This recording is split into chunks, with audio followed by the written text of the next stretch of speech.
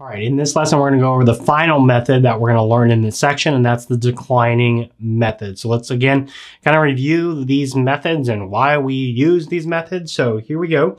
A method is basically a process of the allocation of a cost over the useful life. And so in this case, this is an allocation approach. We need a method, so companies can really choose any method that they would like. Um, but in this case, we're talking about the declining method. So let's talk about the declining balance balance method. So the assumption here is that the asset is more useful at the beginning of its life than it is towards its end. Its end usually is uh, has a lot of repairs that have to be done, maintenance downtime. So the usefulness of the asset is more at the beginning than at the end. And so this might be the reason why companies use declining is because they feel like their assets are more useful at the beginning and they should take more depreciation at the beginning. So we allocate the same method as straight line. The only difference here really is that we're going to increase the percentage to 150 or 200%.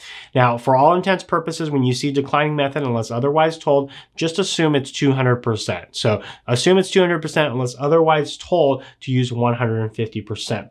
So let's kind of walk you through what this would look like. So to do the declining balance method, we're going to take the cost and we're going to subtract accumulated depreciation. So notice we're not subtracting residual value. Cost minus accumulated depreciation.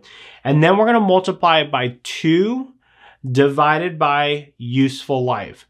So notice that we have 2. So 2 would be 200%. So if you were asked to then calculate this for 150, you would use 1.5 instead of 2. So cost minus accumulated depreciation times 2 divided by useful life will give you your depreciation expense. And again, notice we're not using residual value at all in this equation.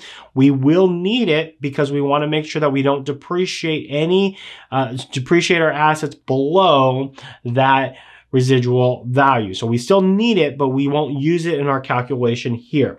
So cost minus accumulated depreciation times 2 divided by the useful life equals depreciation expense. And again, the 2 represents 200%. If it's 150%, you'll put 1.5 and then do the calculation like you would normally do.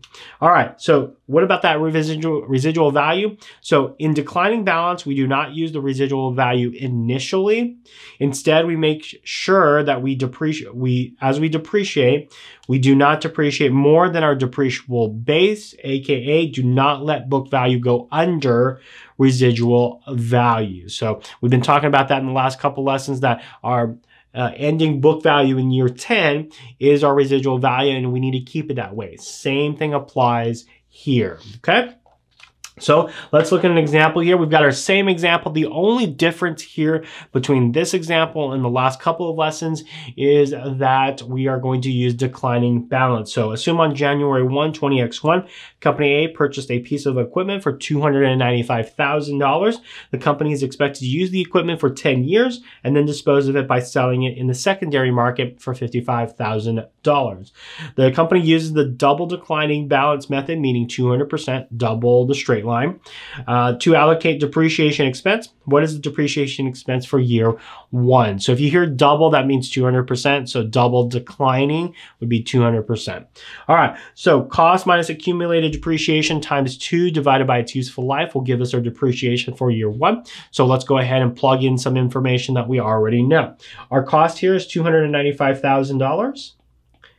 Our accumulated depreciation in year one is zero because we don't have it because we haven't actually depreciated anything up until now. So we're going to subtract zero and then we're going to multiply that by 2 divided by its useful life. Our useful life is 10. And I should clarify, when we say accumulated depreciation, we mean accumulated depreciation prior to taking the depreciation in this year. So notice that we haven't taken any depreciation yet, so it's zero. So accumulated depreciation before we take this depreciation? Because I know what you're saying. You're saying, wouldn't it be whatever happens now, but we get this circular warning like on Excel?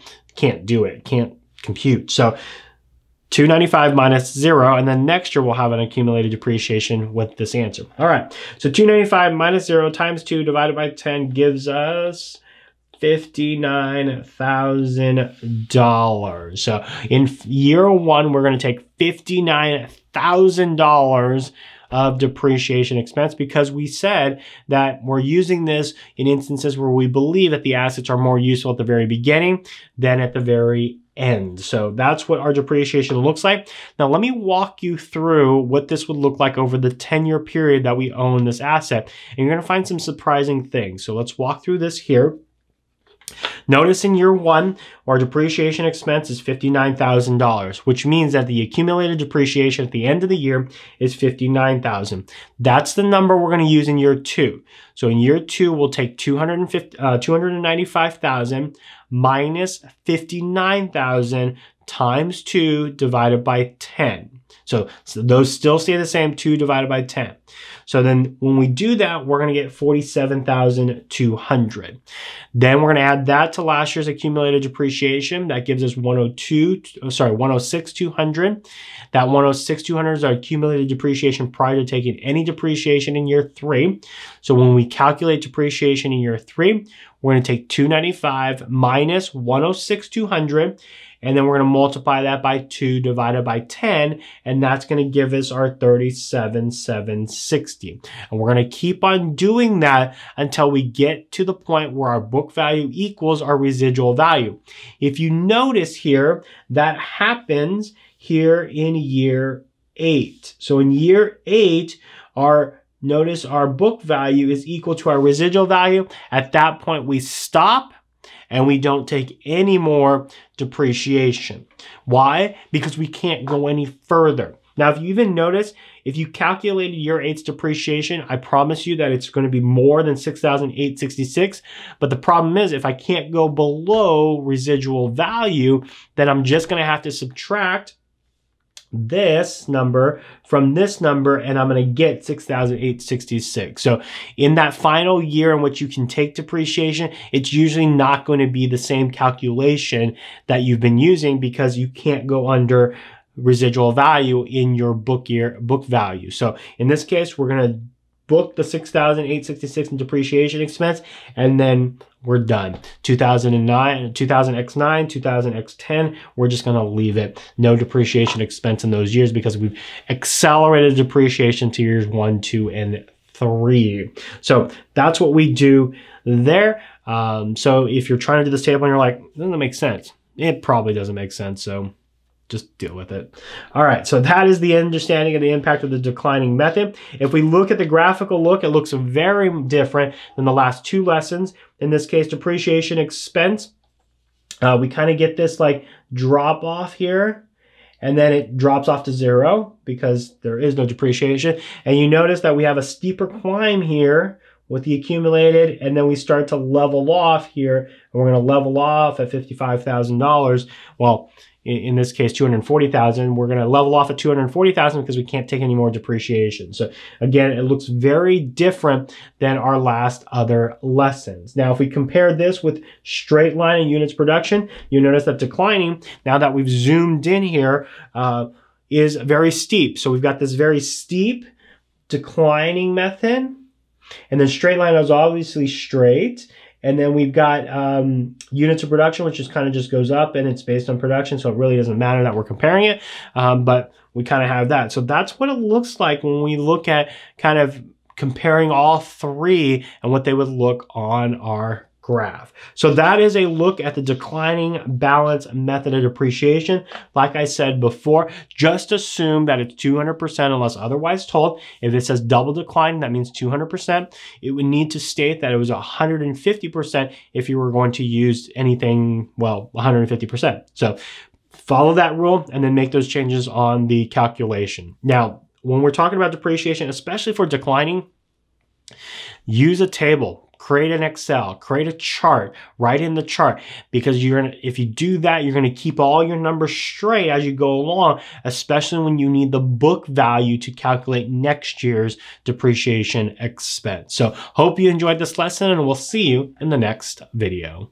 Hey guys, if you like this video, make sure you press the like button below. And if you're looking for worksheets that go along with all of these lessons, head over to my website at patrickleemsa.com or clicking the link in the far right. And I've got your next lesson right over here. So just click that link and it'll take you to that video. So until then, we'll see you in the next lesson.